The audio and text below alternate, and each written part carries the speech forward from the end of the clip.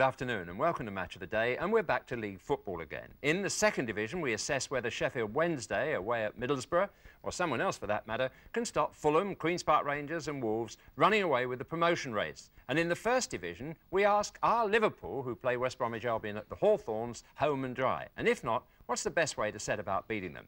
This is what Albion manager Ron Wylie thought at 2.45 yesterday. Well, I think that uh, at the moment, as you can see from the combination of our team, we have three central defenders and uh, two attacking fullbacks. Because uh, Derek Statham is an attacking fullback and because Clive Whitehead is an ex-outside right, both these fullbacks will be playing in midfield and otherwise they'll be in midfield in order to go forward and give us width in attack.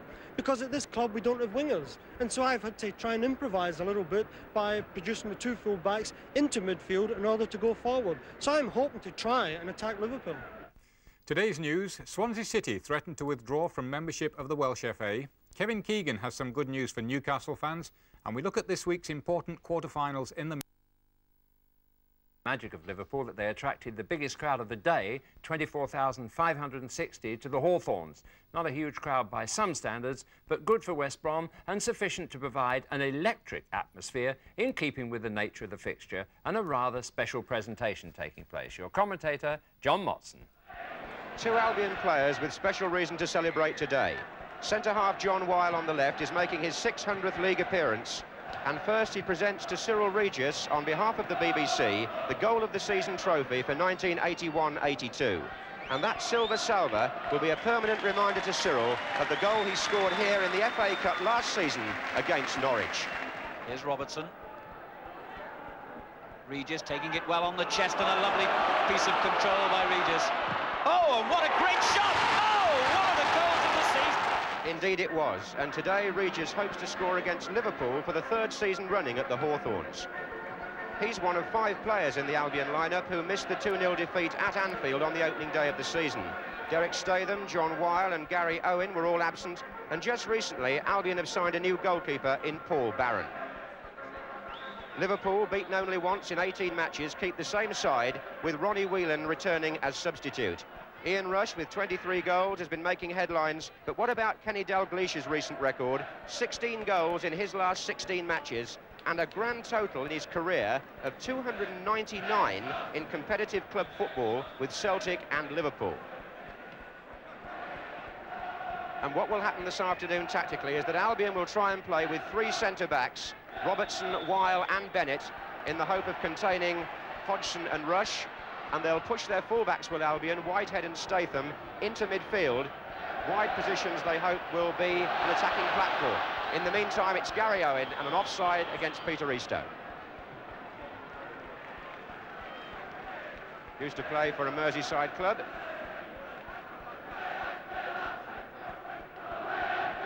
Eastoe, who came from Everton in exchange for Andy King at the beginning of the season. And this well-oiled Liverpool side attacking on four fronts in 1983, the league and three cups. Hodgson fed forward to him again. Alan Kennedy is well forward here.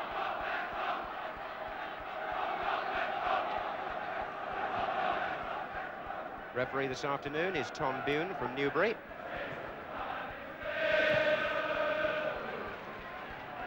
On by Owen, Regis chasing, back by Lawrence.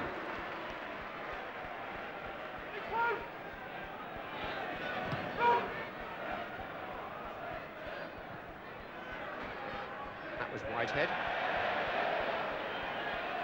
Used to be an outside right at Bristol City, so he'll want to get forward when he can. Rush. Dalglish, good turn, little chip. Could have caught Barron off his line, and that's where Dalglish is so sensitive to what's on. To score that number of goals in your career, you have to be able to take opportunities from all angles. And he just sensed there that Barron might have been slightly off his line and tried the delicate chip.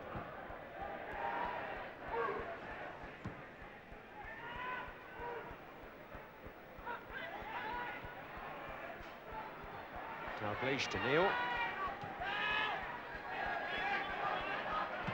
And away by Wile. touch by Johnston was not accurate. So Owen pushes one forward, but offside was given against a combination of Regis and Zondervan.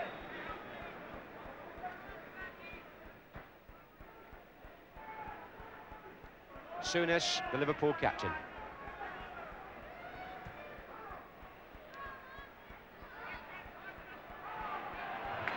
Good tackle by Joe.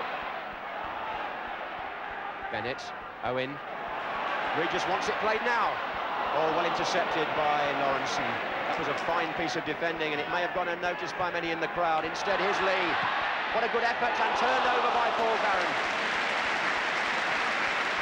Sammy Lee, who had the shot. But the move started because Lawrenson intercepted almost casually a ball that would have put Cyril Regis on his way to goal at the other end. Brilliant play by Liverpool.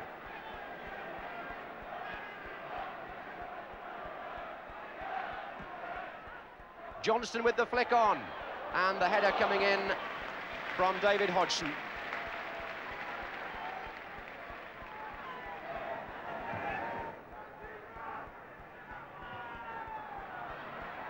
Zondervan to Eastoe. Regis in the centre. Didn't run for him.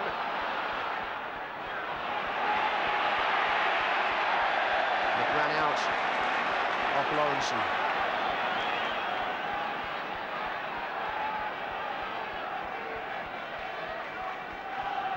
Clive Whitehead with the throw. Alan Kennedy with the interception.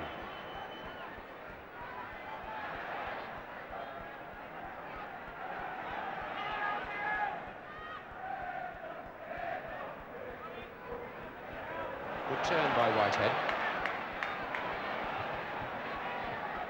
Then it was Owen, looking for Zondervan, who used some pace there, but the cross was longish for Regis. It'll find Statham.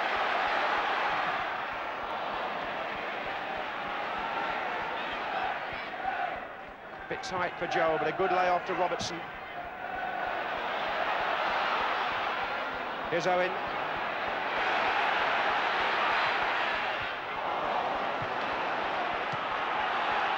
Zondervan.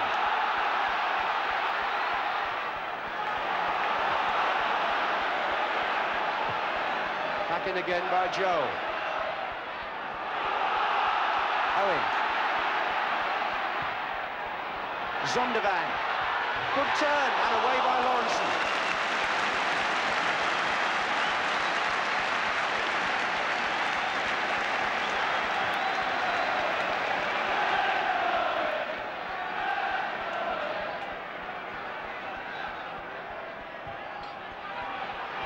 Into the side netting from Gary Owen. Trying to curl the ball into the near post for the big fellows who'd come forward.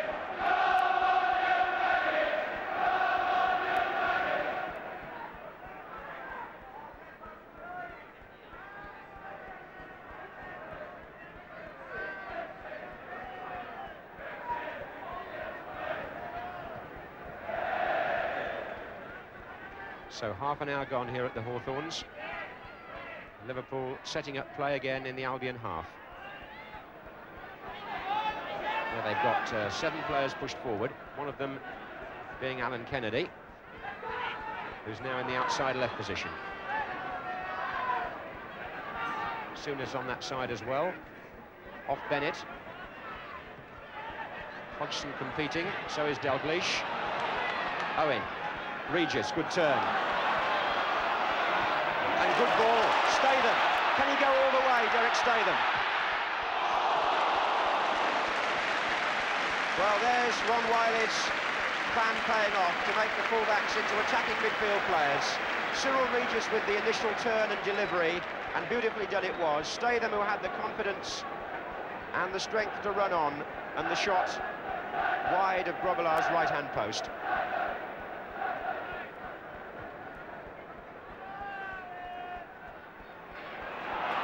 Joe. And Grobbelaar's gone all the way to meet Zondervan and lost him. And there's a chance in the middle here.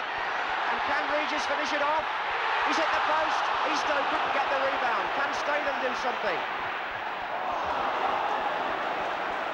Robertson. And Eastoe sets one up, and Robertson comes through again. And what an extraordinary piece of goalkeeping by a man who almost came to Albion when he was 15 years old, Bruce Grobbelaar. He was here on trial. And back at the Hawthorns today, he went all the way out to meet Zondervan on the right, missed him. Zondervan got the ball in, but Regis, having to beat a defender in the challenge, hit the post. Well, there is still a feeling that uh, Grobbelaar has his more eccentric moments. He's a fine goalkeeper in the making. He's made some splendid saves this season, but a rush of blood just occasionally can make the Liverpool defenders ask themselves exactly what's happening. And Jol wins out against Dalglish. Gets a return from Gary Owen. Checks because Zondervan was trying to avoid being offside. He's not now, and Grobbelaar has to come and meet him rather more firmly this time.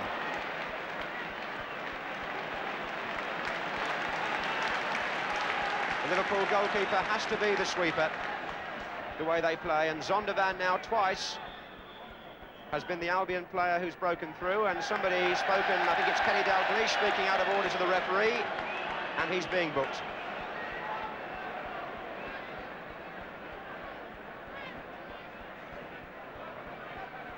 There was a tackle just a few minutes ago by Jol on Dalglish, which set up that last move, where I think Dalglish thought he'd been fouled. The referee let play go.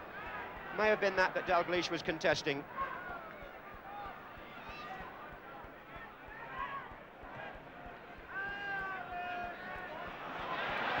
Hodgson with Bennett, and then with Owen. Shook them both off. Dalglish, Hodgson. Rush, Dalglish.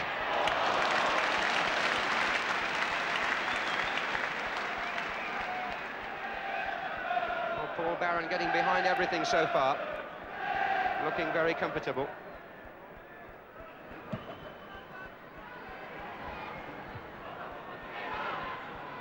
Owen forward.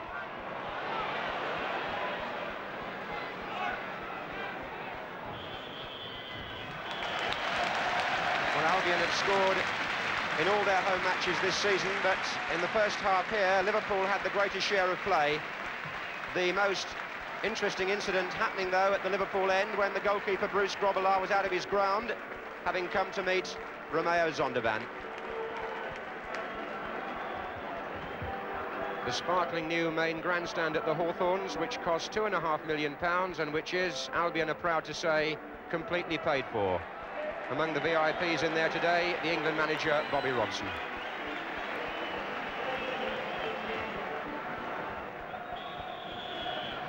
Liverpool, the highest scorers in the league with 58 goals, but uh, Albion have only lost one match here at the Hawthorns this season. That was to West Ham way back in September. Here's Rush for Liverpool. And Hodgson's going through there dangerously. Bennett went across. And tricked Lee very nicely. Found Derek Statham, who in turn found Regis. Eastoe is offside.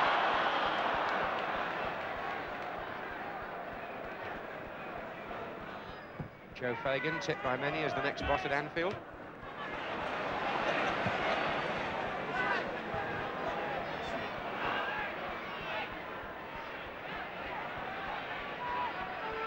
Dalglish. Well, that uh, was right on the edge, says the referee. Dalglish is pointing, saying to the linesman that was inside.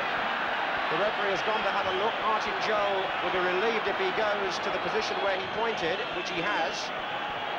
And that award has been given outside the area, much to the distaste of the Liverpool players.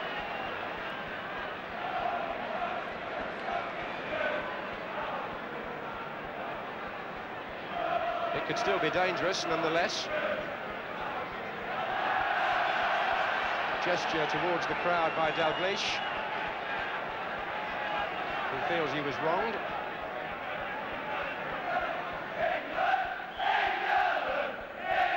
Left for Lee to float one, and Jol to clear with a header. Lee again. Johnston.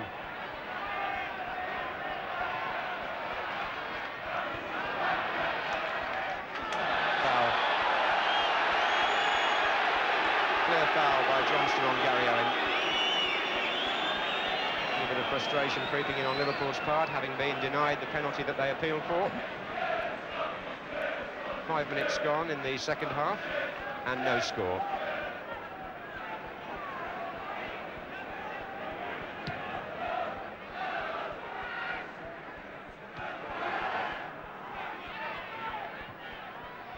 Neal. Dalglish.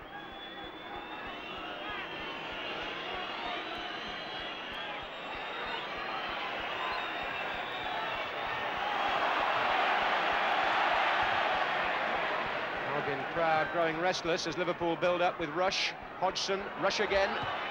Appeals by Albion, and here's Craig Johnston.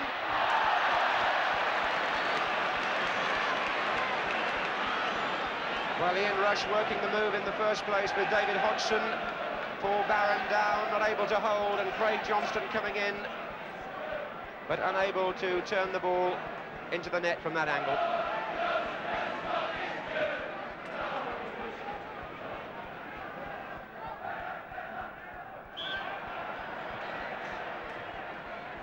Eastoe was fouled by Lawrenson.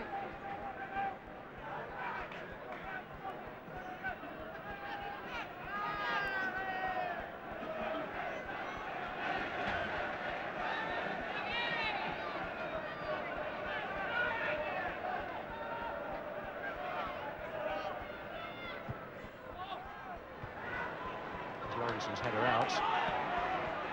Hodgson didn't make it. Jol did. Bennett. Regis. Whitehead. Eastoe coming near post. Could be dangerous, this. Well, Grobbelaar did awfully well. Peter Eastoe sneaking in behind the defence as Whitehead put the perfect ball in and Grobbelaar coming to meet the Albion man certainly put him off sufficiently to prevent Liverpool going a goal down. Wasn't so much a save as an intervention, but a very important one.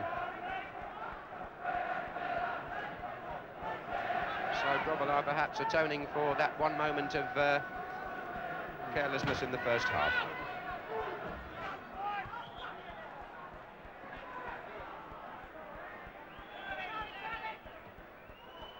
Oh, good running by Lawrence and onto the free kick from Souness.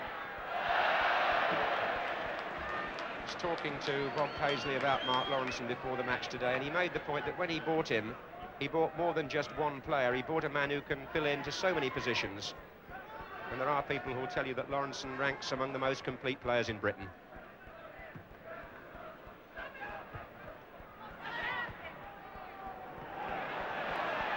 Statham, they want it played early, but they might get caught offside. He's gone alone. Joe, Owen, and now Bennett.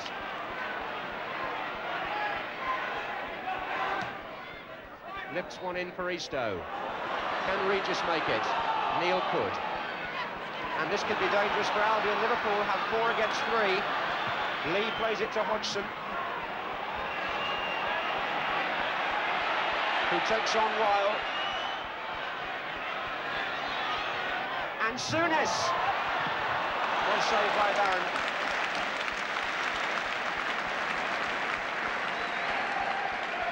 Albion looked like losers there in that Liverpool attack. They were a man short at the start.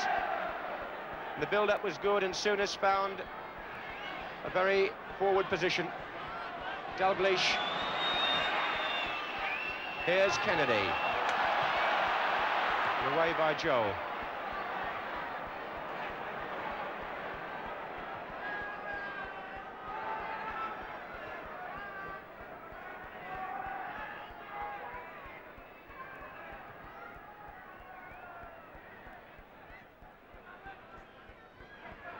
Rush. Dalglish. Offside. And 24,500 people who've come here today sensing that this match is still perfectly balanced.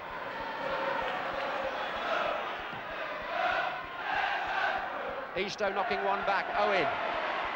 Statham is well forward. Well, that's a bit rough. Lawrenson, free kick. He says he won the ball, but the man went down in the same movement. The man indeed was Eastoe.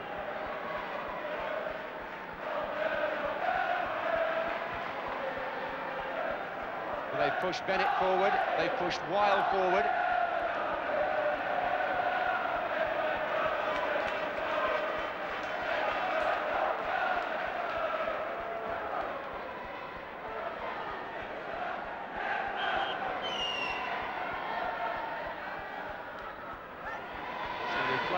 Gary Owen to chip one, but that's no chance at all from an Albion point of view because it was much too long. Regis had come in too far, perhaps, but here's Souness, and now Liverpool on the break with four up.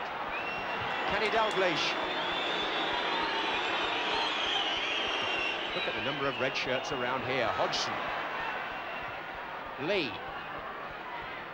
And Hodgson! Oh, the best move of the match. Certainly the most penetrating and the closest we've come to a goal. Liverpool came out of defence there and got seven red shirts in the Albion half in next to no time. Sammy Lee played the final ball in. Hodgson volleyed. It looked from this angle as though it might go in. In fact, it went outside the post.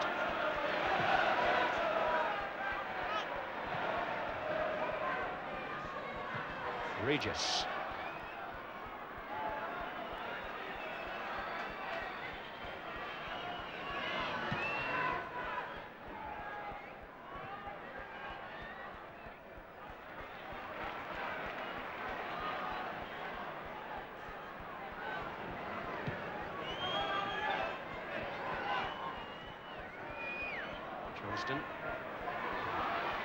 Dalglish.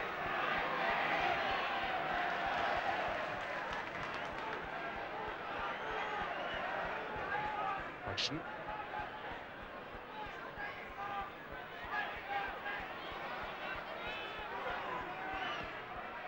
Into Johnston. May run for Souness. Hodgson. Rush is hovering inside the area and he's there. Ian Rush. And that's Liverpool. They don't mind if they score in the first, minute or the last. They'll get there in the end.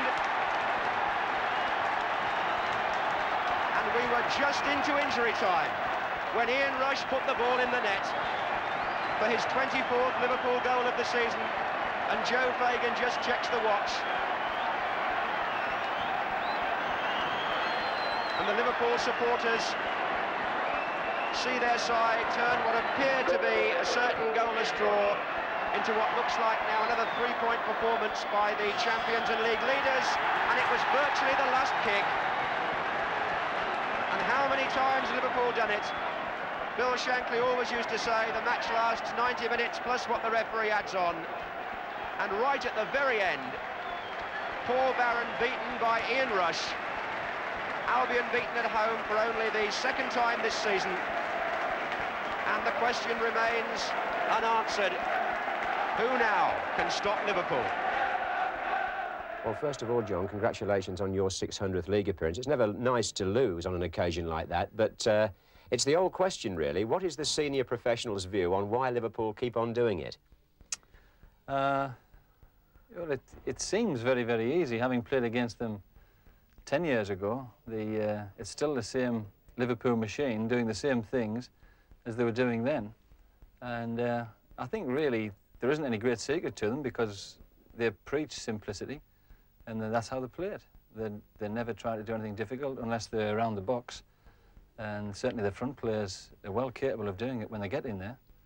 But um, I think they have a, a, faith in their, in their method and they won't be altered by um, other people's views. I think there was a time when people were very critical of them being a dull side. I think they've come through that and they're now a very attractive side who uh, are confident. And um, this continuity, I think it breeds confidence. And certainly you see new players coming in. As I said, it really is the same team which was playing for Liverpool 10 years ago with just a, a set of different players. Um, but because they, of their simple method, the new players coming in just seem to adapt very, very quickly and easily. Um, is that because some of the older players and the star names are asked to do just as much hard work as the newcomers? Yes, I think uh, I think they've, they've, they've certainly put the, the, team effort before anything else, which I think is um, a big compliment. And I, certainly good players who are, are humble enough to sacrifice their own game for the team benefit, I think that is a sign of a very, very good player. Uh, but it's also the sign of a very, very good staff. And um, when you talk about Liverpool, I think you, you must look at the people behind the scenes because they must have a tremendous influence on the players. And certainly the players do as they're told, or appear to be so anyway. And that is their strength. An interesting view of Liverpool there from a man who should know. Outstanding players unselfishly sublimating their skills to the needs of the team. And there are those who claim that method football suppresses flair, and those who think that to put too great a belief in carefree skills costs goals and points. Well, the answer, it seems, is in finding the perfect balance. Do it in the right place at the right time, and afterwards, however many international caps you've earned, accept with humility the boss's verdict. Well, West Bromwich Albion were a bit unlucky in the end to get away with nothing. But if ever a game which was far from a classic owed something to three points for a win, that one did. Whatever the problems they had in coping with a strong wind over 90 minutes, in the closing stages, both teams went flat out for a knockout, which at least kept the game alive until the final whistle. Apart from a seemingly unassailable 10-point lead in the Championship, Liverpool are also chasing the European Cup, the FA Cup and the Milk Cup. It's that last competition which Liverpool, the holders of course, now turn their attention to because on Tuesday they meet West Ham in one of the quarter-final ties. It's a repeat of the final two seasons ago which went to a replay after a one-all draw at Wembley. And in the second game at Villa Park, Liverpool came from behind to win 2-1 with Kenny Dalglish getting a marvellous equaliser. The West Ham crowd who are singing.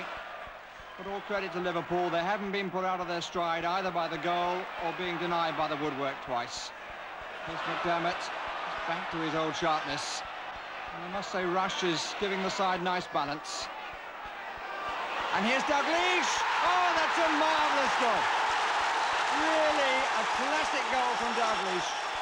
Today's team news for the Liverpool-West Ham tie, Bob Paisley told me that he has no injury problems and that he's likely to field the side which beat Albion. West Ham manager John Lyall is not quite so certain of his lineup. Ray Stewart had one stitch inserted in a cut on the instep after yesterday's game at Nottingham Forest. But as long as there's no swelling or discomfort, he should be okay, as should Francois van der Elst, who twisted a knee during the same game. Both Alvin Martin and Paul Goddard, who returned to the team yesterday, came through without further problems.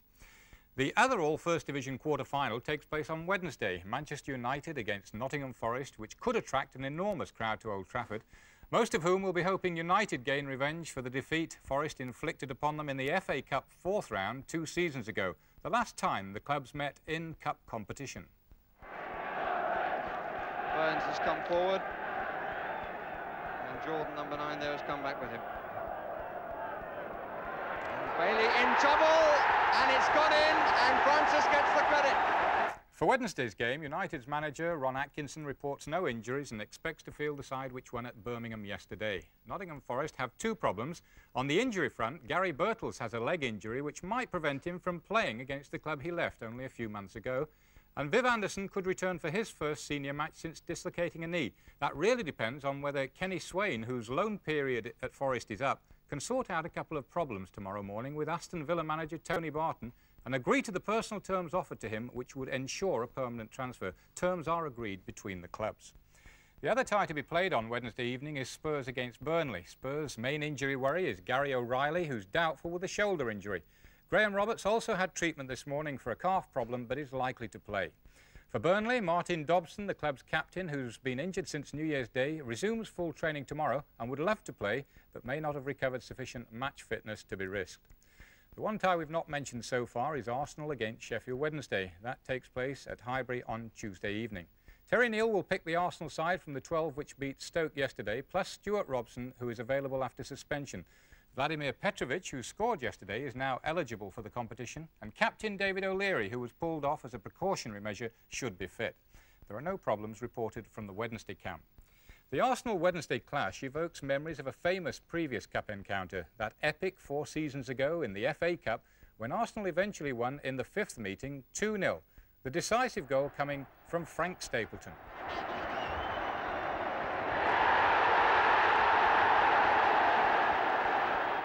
Big night coming up for Sheffield Wednesday at Highbury on Tuesday. But yesterday at Middlesbrough, their thoughts were on staying in the promotion race. They put themselves in danger of losing touch with the leaders but Middlesbrough, in desperate need of points themselves, and buoyant from thwarting Bishop Stortford's brave challenge, were far from easy opponents. Your commentator, Barry Davies. It's a big day for 20-year-old Kelham O'Hanlon. born on Teesside, though of Irish parents, who gets his chance in the Middlesbrough goal because the regular incumbent, Jim Platt, has gone down with measles. And the lineup in front of him on a very blustery afternoon shows one other change from the side which finally disposed of Bishop Stortford in the cup. Joe Bolton comes in at number three. Theories that Kevin Beattie was about to return have proved to be somewhat premature.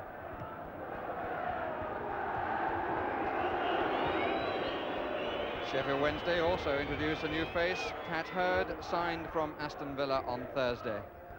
And he takes his place in the lineup which finally ended a depressing sequence of nine matches without a league win when they beat Charlton by five goals to four.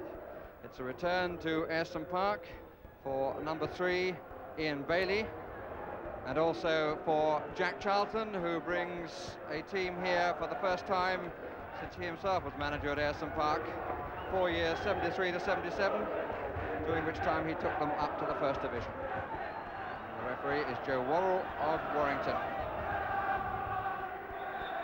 So away we go on the second half of the Football League season. Two teams met on the opening day at Hillsborough when Sheffield Wednesday in their usual stripes, then and now won by three goals to one.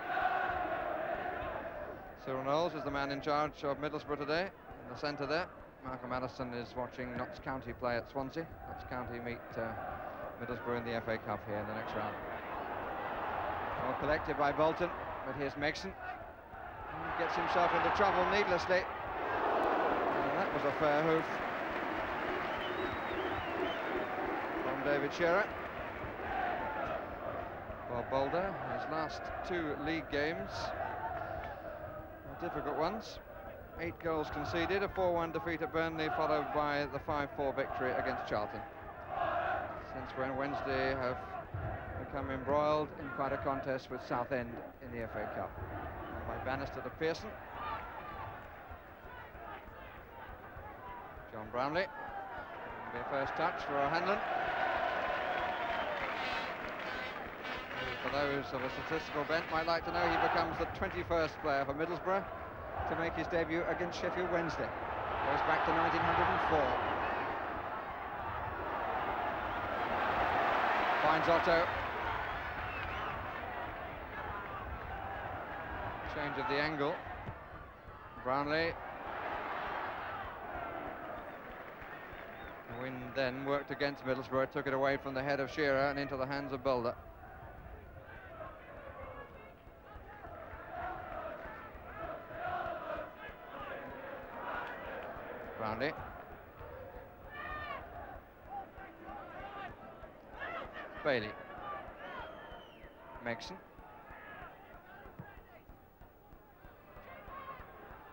Well, he almost judged it well, and the goalkeeper's out of his area. So handball. It was a well-struck pass into the wind.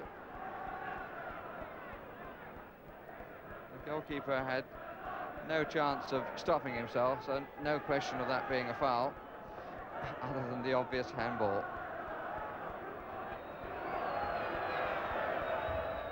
The referee's done well, he's got the wall at 10 yards. And Smith strikes and slices. Scored against Southend in midweek. From the moment the ball left his boot then it was going wide.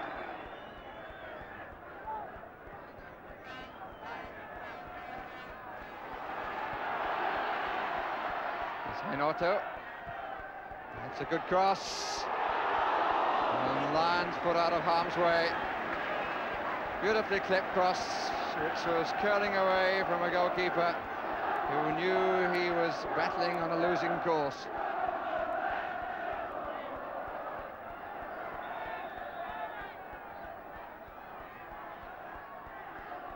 Bell to Kennedy. Just a bit too strong for Baxter is Otto again. Brownlie, Sugrue, with time to see who was around, and almost time for the shot, but not quite. Here's Wood, he didn't have time either. And again, Wood had taken a good forward position, and really Middlesbrough ought to be seeing his movements better.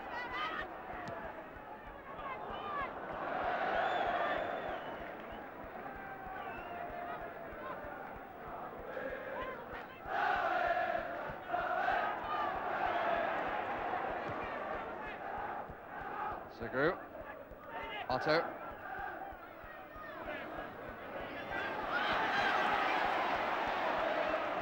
Determination for the Dutchman. And finally, one of the several arm links produced a free kick.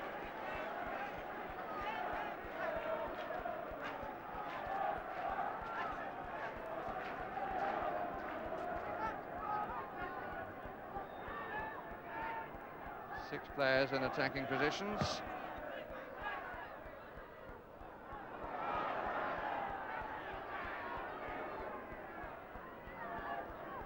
Shearer with the sharpness one might expect of a player who scored twice in midweek.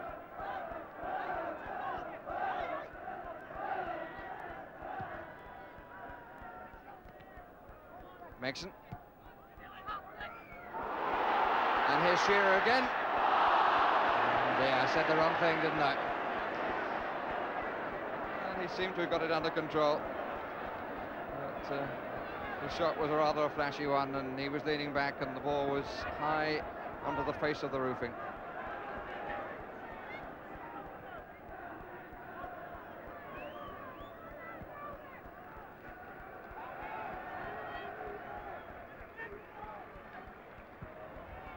Offside? No, the flag stays down. Here's Megson. Well, he had so much time. Seemed to lack conviction. Suppose it could be said we've had one clear-cut chance at either end. That one to Megson, and earlier an opportunity for David Shearer. Shearer. Otto trying to find him again, but Shearer hadn't run on that angle.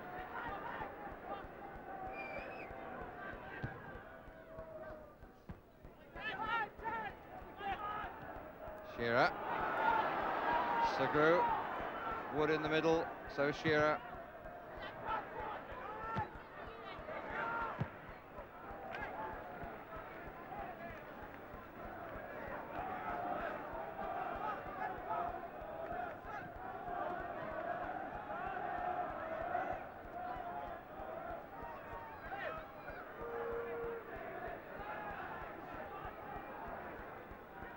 Kennedy.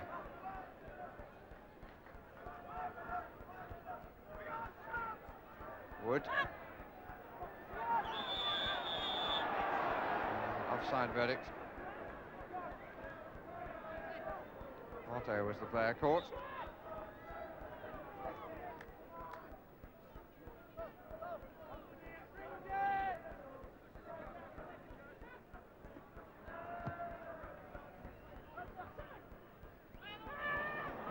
Straight to Bannister, who tried to wait for it to come down, and the goalkeeper did very well.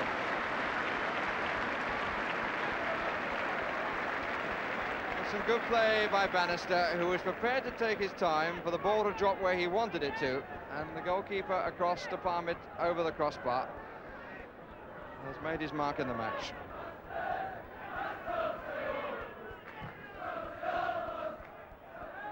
Lyons looking for the nod down. Goal kick.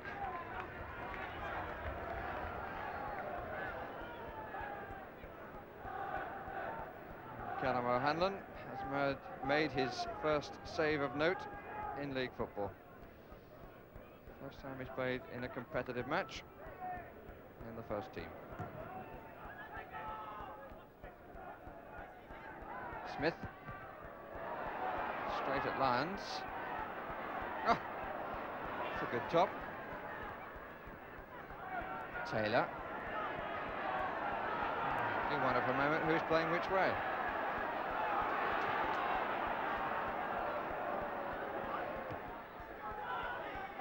Shelton. Brownlie, the bad pass. It's cut out three players.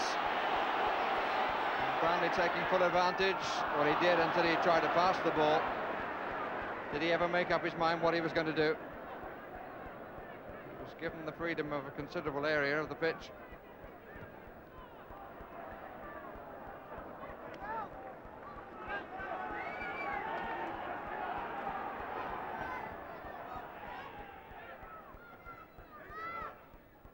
Otto, straight through Bailey. Unfortunate moment to stumble. Here's Wood.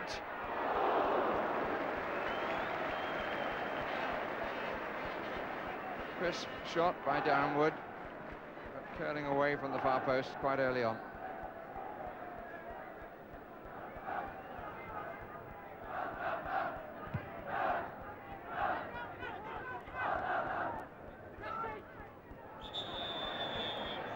Foul by Smith, into the back of Shearer, who looks somewhat bemused.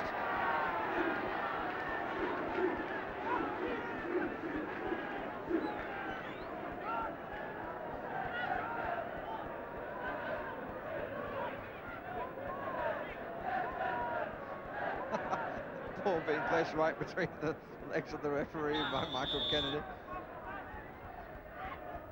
Wood's going to have a crack, I think. Yes, he is. Very good one, too.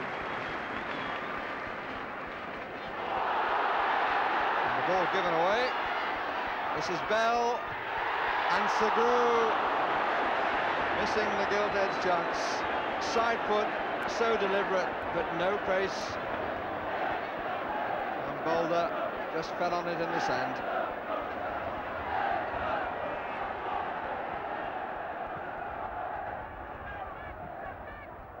Baxter, Megson.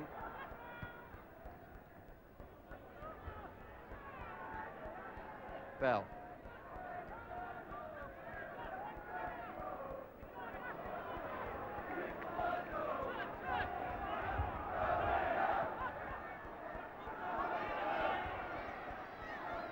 Mr. Morrow has a check of the watch. Will not, I think, detain the players much longer.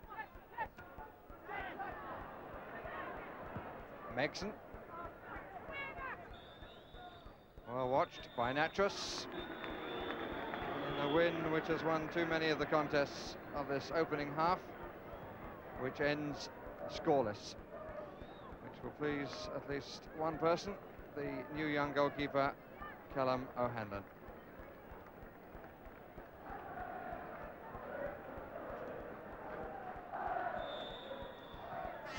This is the 14th match that Middlesbrough played since Malcolm Allison became their manager. Record so far showing three defeats, five wins and five draws. It's their league record, and of course they're in the fourth round of the FA Cup and a chance to remove a first division side in Notts County. Cyril Knowles looking for a goal. Nice one or of any sort. Brownlie. Good play by Nattrass. Knew where Bannister was. Bolton. Kennedy. Bell inside. Otto inside as well now. Smith in attendance. Kennedy has done well. Final header over the top from Shearer touchline. Figure six being shown, indicating that Heine Otto is to come off. Mm, Not a decision which the crowd approve of. And he's replaced by Ray Hankin. So it's a midfield player or a more forward player. Midfield player's gone off, the forward player's come on.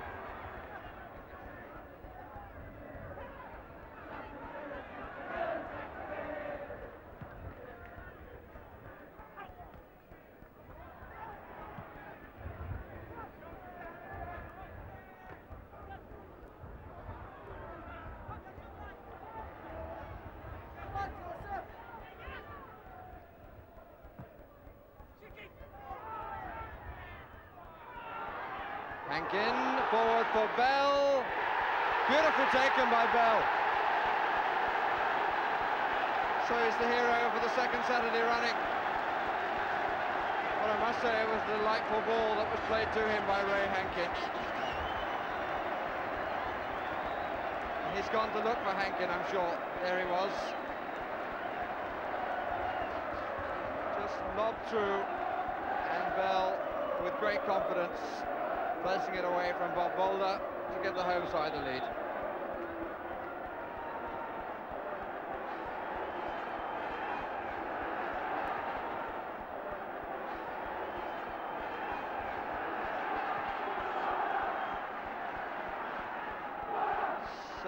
Minutes of the match gone.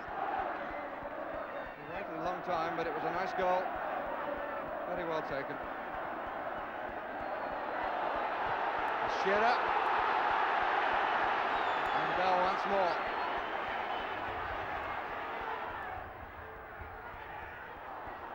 Kennedy. Ball never moved. It was anchored by Taylor. And the referee Kennedy's action warranted the booking.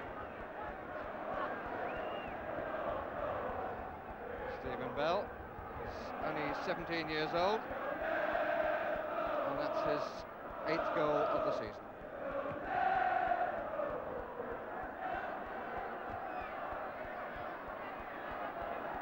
Bannister, Bolton.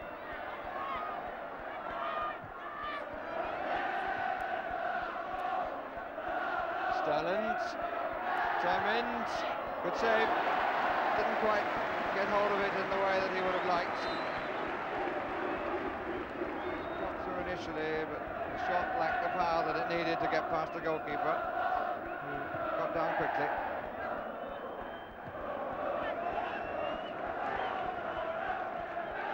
Gordon Owen to come on for Sheffield Wednesday to replace Kevin Taylor. Ten minutes left. Sheffield Wednesday to improve a really depressing sequence away from home.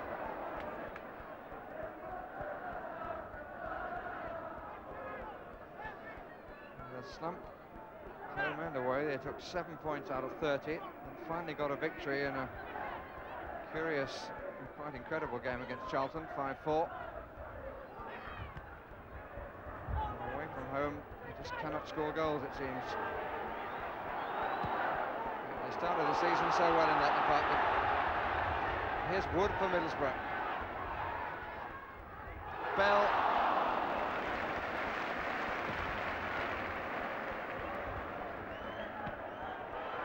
Long clearance, seeking out Owen. Handler makes his first mistake of the afternoon.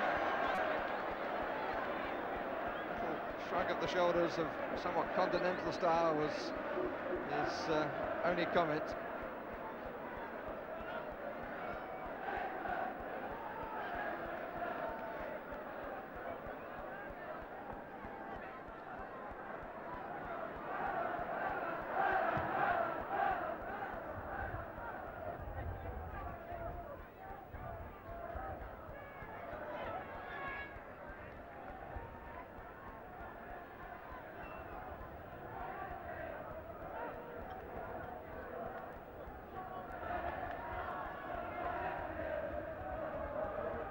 Bailey.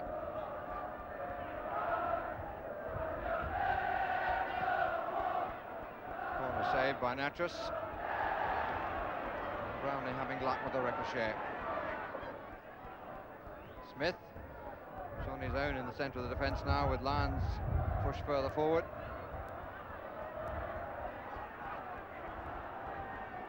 Stelland Now, can they exploit the gap that is left? Shearer, he's got back very quickly as the fullback. With considerable fortune won the ball, but gave it straight away to Kennedy. Pass was much too strong.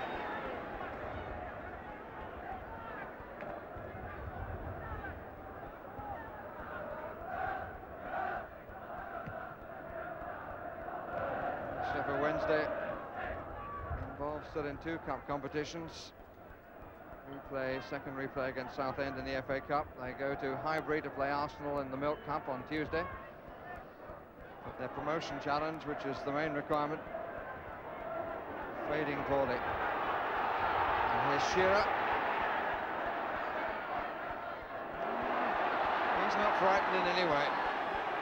Stephen Bell. There's a pass intended for Shearer to run onto, going out to the left.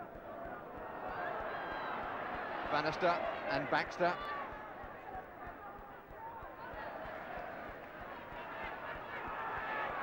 Solid display is Baxter. But suddenly, out of nothing, Pearson scores. And really, they went to sleep from the throw-in. Shelton, who turned it on, and Pearson finally ends a long drought to equalise at one all, and really, Middlesbrough will kick themselves. The marking was non-existent.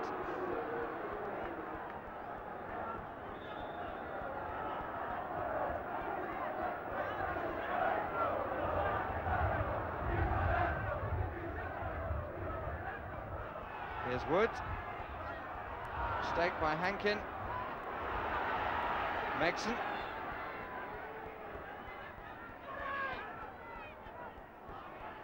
Asked an awful lot.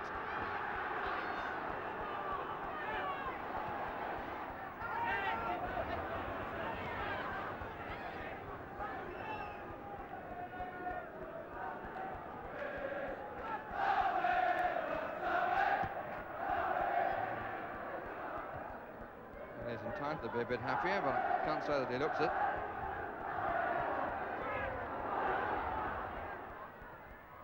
On by Wood, and well on to De Shearer. But the referee's whistle goes when we come to the end of a match which will be remembered by three youngsters, but not by many other people.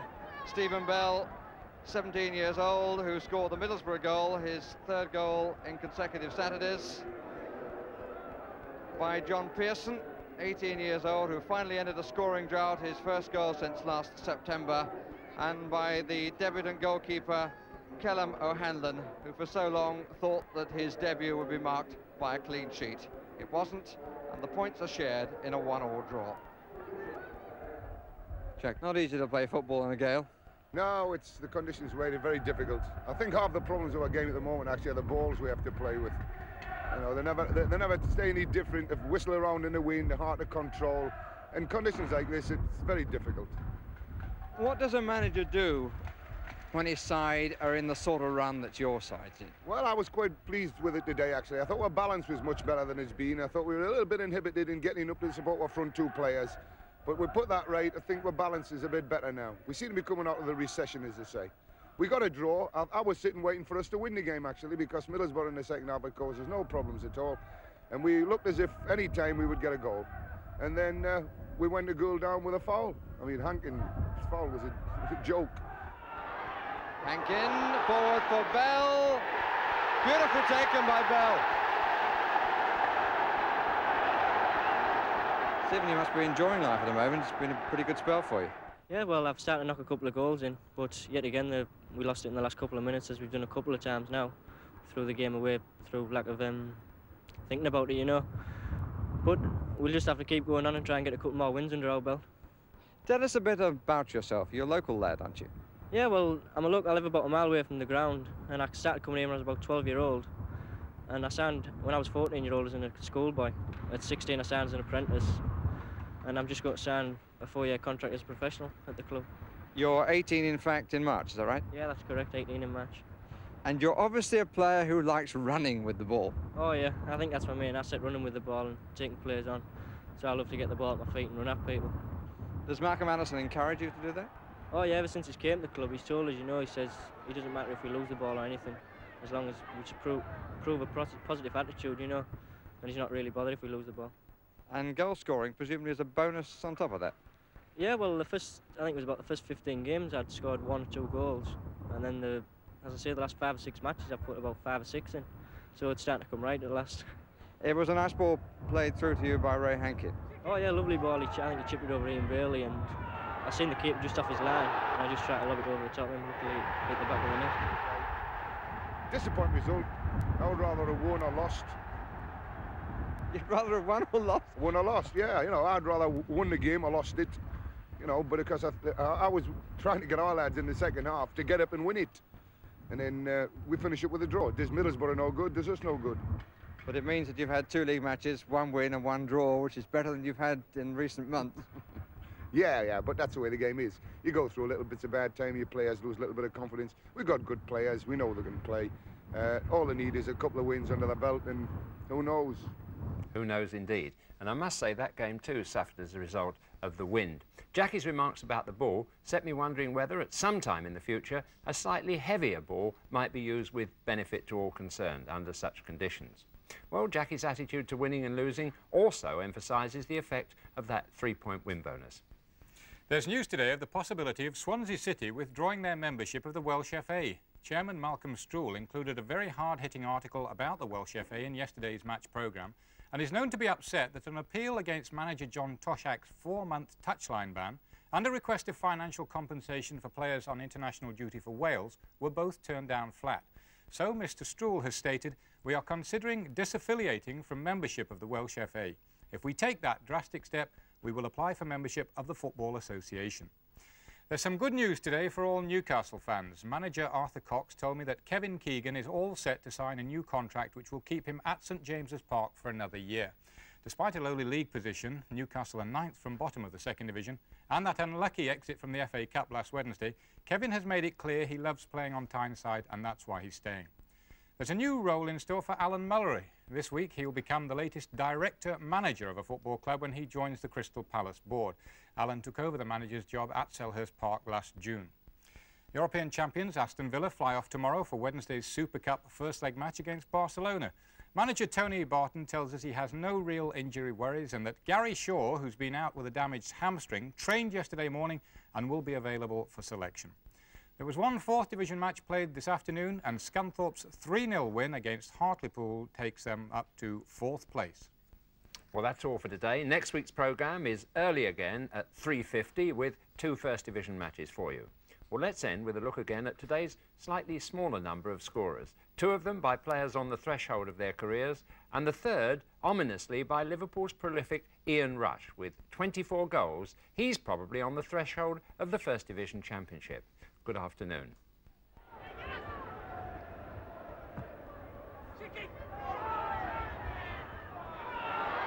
Hankin forward for Bell. Beautiful taken by Bell.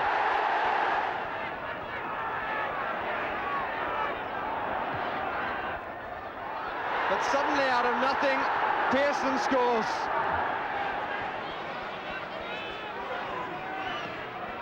Into Johnston. May run for Souness. Hodgson. Rush is hovering inside the area and he's there. And Ian Rush